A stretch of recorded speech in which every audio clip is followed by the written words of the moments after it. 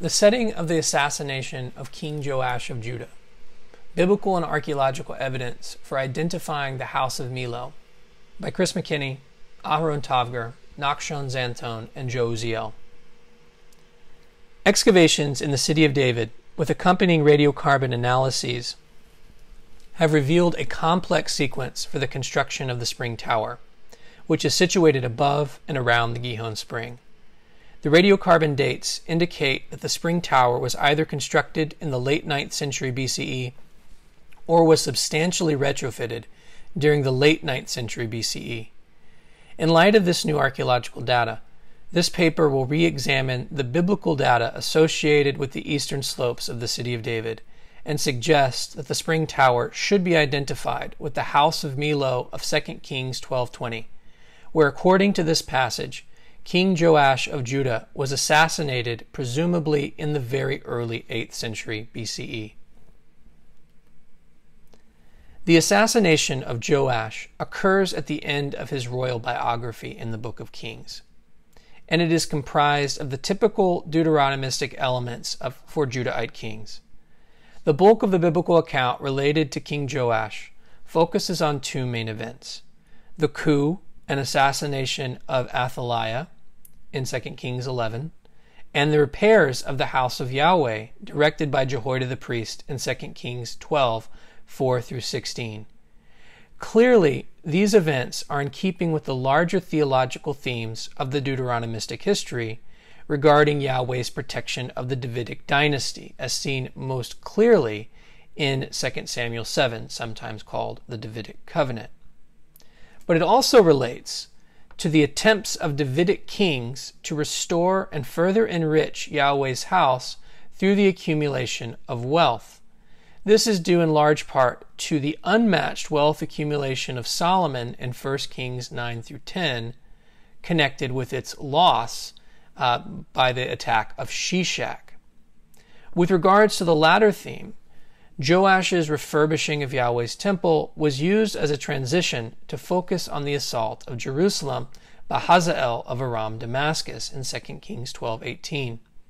Hazael's assault then is also related to this literary cycle of wealth accumulation only to be followed by the plundering of Jerusalem by the wealth of a foreign enemy.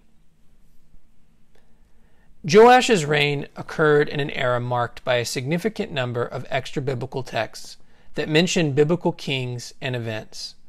Besides the connection with Gath, the beginning of Joash's reign can be related to Jehu's coup of the Omride dynasty.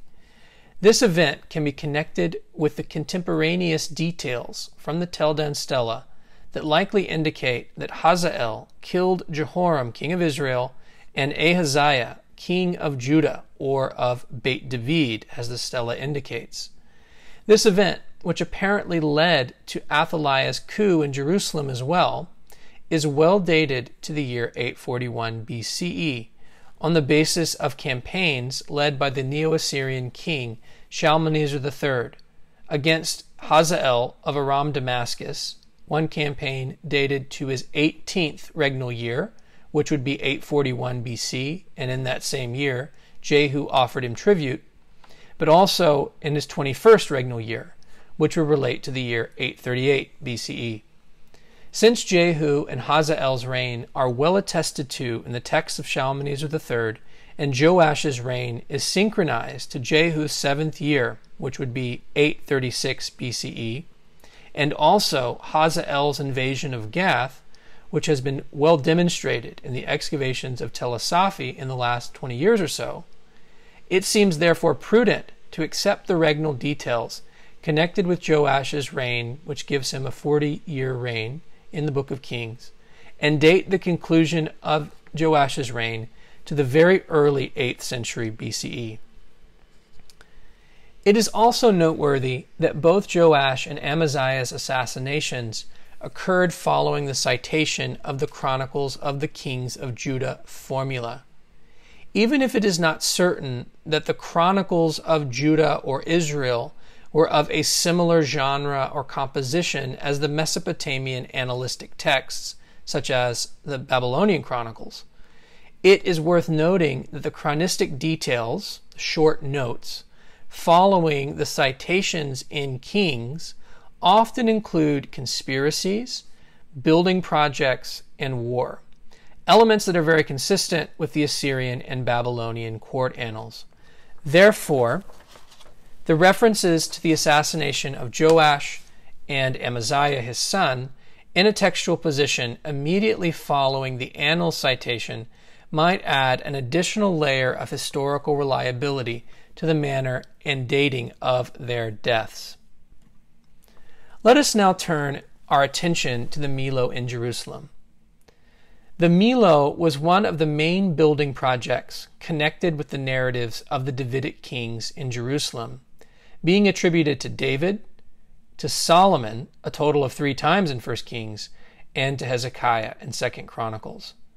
The occurrences with David localize the Millo with the city of David and seem to connect it with its outer periphery, as 2 Samuel 5 9 reads. And David lived in the stronghold and called it the city of David. And David built the city all around from the Millo inward. With regards to Solomon, the three references occur in two distinct contexts. In Solomon's building achievements, where the first two occur in 1 Kings 9:14 and verse 24, and in Jeroboam's uprising in 1 Kings 11:27. The first context indicates that the construction of the Millo was noteworthy to the writer of Kings, as he uses it to symbolize the prestige of King's most powerful king and builder. They read as follows The forced labor that King Solomon drafted to build the house of Yahweh and his own house, and the Millo, and the wall of Jerusalem, and Hatzor, and Megiddo, and Gezer. And later in that same chapter, but Pharaoh's daughter went up from the city of David to her own house that Solomon had built for her. Then he built the Millo. The second context is even more interesting. The building of the Millo in this passage is mentioned as the setting of Jeroboam's initial rebellion against Solomon. This was the manner of how he, Jeroboam, lifted up his hand against the king. Solomon built the Millo and closed up the breach of the city of his of city of David his father. Regarding 1 Kings 11:27, it is established that Solomon placed Jeroboam in charge of the forced labor from the house of Joseph, who were apparently working on the Millo when Jeroboam's fateful encounter with Ahiah the Shilonite took place a few verses later. As we will see, the location of Jeroboam's uprising may be intertextually related to the location of Solomon's coronation at the Gihon Spring which is mentioned at the beginning of the book of Kings in 1 Kings 1, but also Joash's assassination at the house of Millo in 2 Kings 12:20. The reference to the house of Millo in connection with Joash's assassination is the last occurrence of the Millo in the Deuteronomistic history. Given the prominence of its occurrence in the early monarchy, it is striking that the term does not appear in Kings subsequent to the death of Joash. The reference to Hezekiah's rebuilding of the Millo is outside of the Deuteronomistic history. It reads as follows He, Hezekiah, set to work resolutely and built up all the wall that was broken down and raised towers upon it, and outside it he built another wall, and he strengthened the Millo in the city of David. While this occurs outside of the Deuteronomistic history, abundant late 8th century BC evidence throughout the city of David would seem to support the basic historicity of this verse. This reference occurs following the famous passage associated with Sennacherib's invasion and Hezekiah's response, the stopping of the spring and the brook that flowed outside of the city, and presumably the construction of Hezekiah's tunnel. In our view, it is possible that the reference to Hezekiah building the Millo was a post exilic historical remembrance of the area around the Gihon Spring being known as the Millo.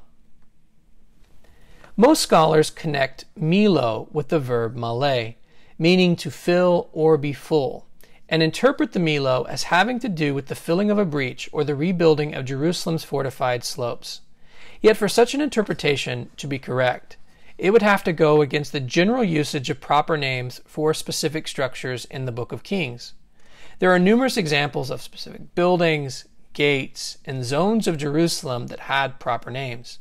However, there are no examples in the Deuteronomistic history, unless, unless the Millo represents the lone example, of large building projects that have proper names. This, in fact, is true for not only the Deuteronomistic history, but the entire Hebrew Bible. In our view, particularly in light of the references which designate the Millo as a specific location, in particular 2 Samuel 5 9, but also our present text from 2 Kings 12:20, which reads, "His Joash's servants arose and made a conspiracy and struck down Joash in the house of Millo or in Beit Millo on the way that goes down to Silla."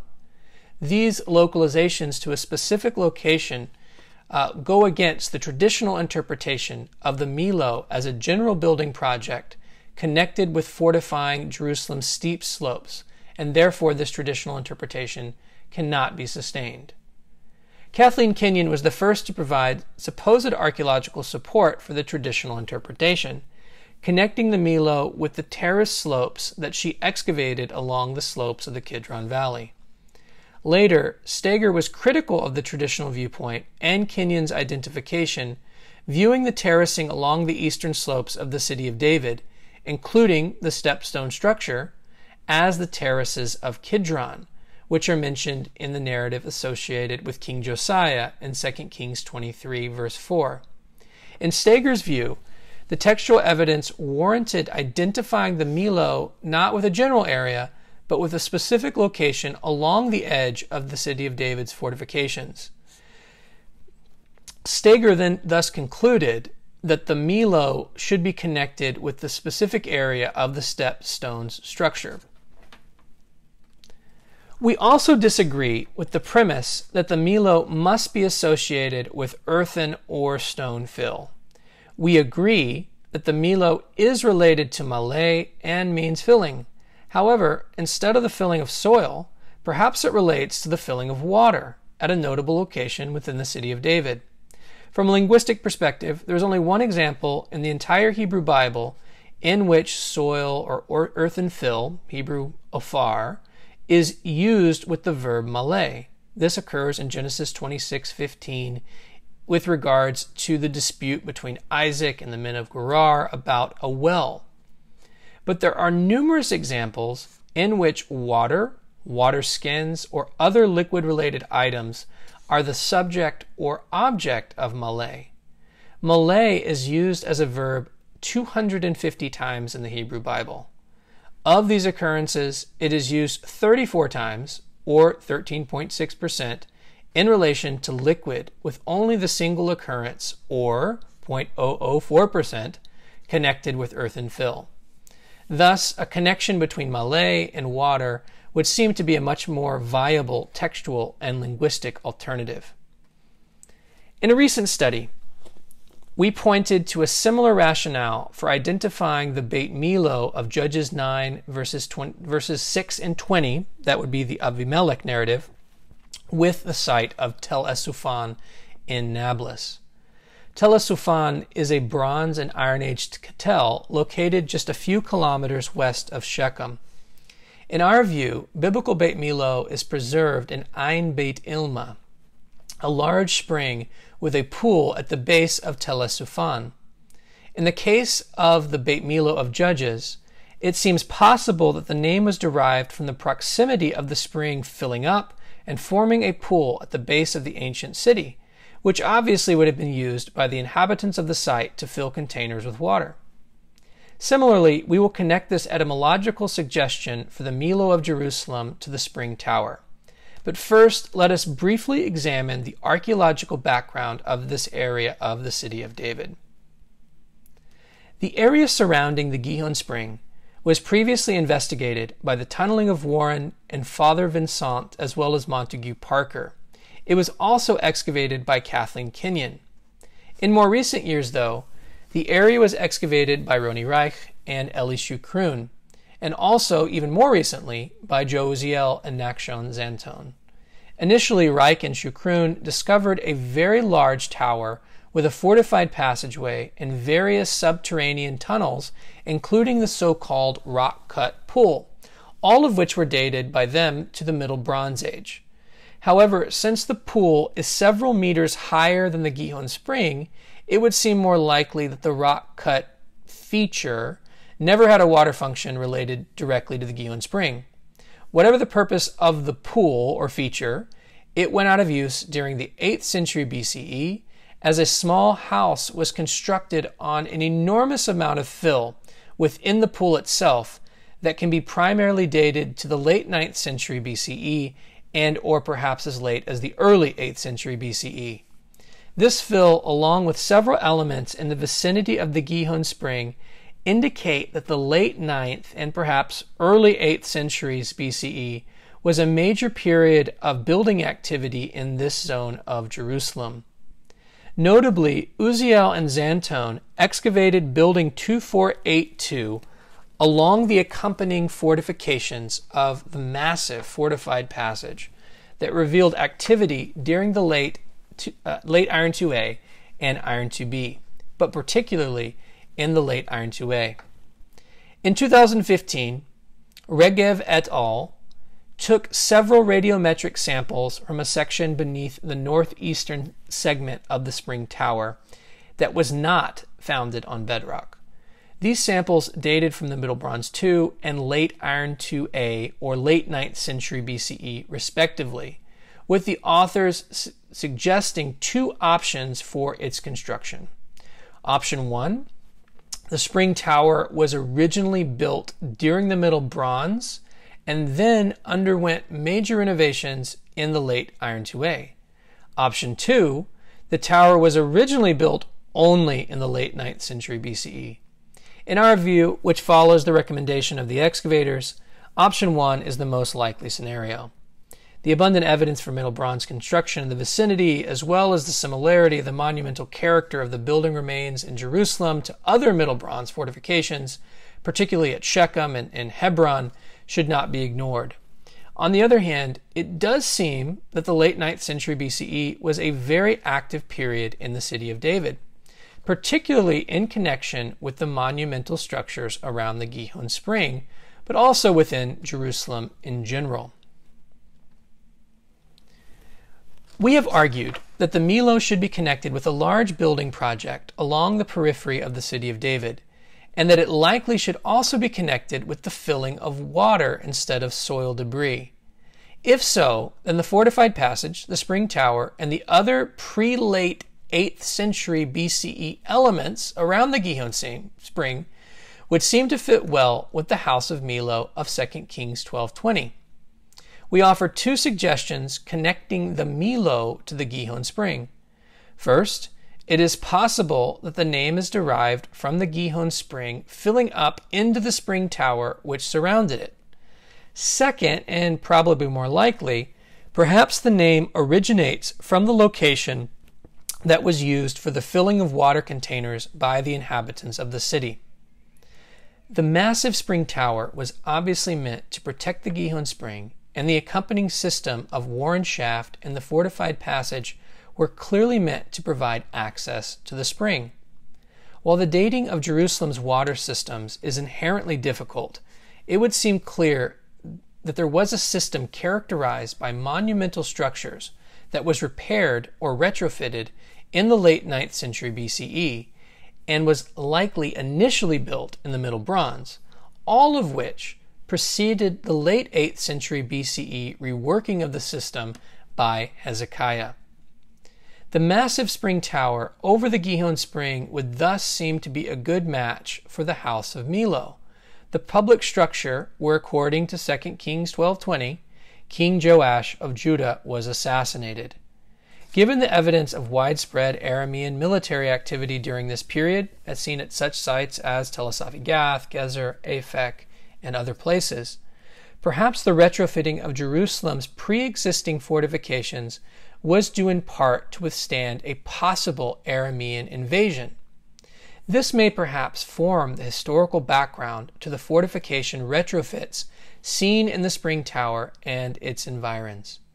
In addition, if the spring tower was in fact used as a pool for the Gihon spring, it may also refer to the old pool that is mentioned in the famous passage of Isaiah 29 through 11 related to the construction of Hezekiah's tunnel, although on this point uh, it is far from secure. In the Deuteronomistic history, the Millo is only mentioned in connection with texts purportedly describing the 10th century to the very early 8th century BCE. It is particularly striking that the area surrounding the Gihon Spring was quite active in the late 9th and early 8th centuries BCE, with also some evidence, uh, fragmentary in fact, of earlier Iron Age remains. Therefore, we propose that the Millo should be understood as the entire and quite irregular fortification system surrounding the Gihon Spring and its waterworks that was in use in its primary form from the Middle Bronze through the Iron 2B. The name was apparently lost after the reshaping of Jerusalem's water system during the late 8th century BCE, again, probably by Hezekiah. From a textual perspective, and regardless of one's view of the historicity of the narratives involved, this identification would create a geographical intertextual interplay between Joash's assassination at Beit Millo or the house of Millo in 2 Kings 12:20, the inauguration of Solomon's reign at the Gihon spring in 1 Kings 1:33 through 36, as well as Jeroboam's uprising while overseeing the building of the very same place at the Millo in 1 Kings 11:27 and following. If the Gihon spring and the Millo were in fact the same location, then the narrative impact of Joash's assassination with its royal harbingers would have been heightened to the Deuteronomist's audience.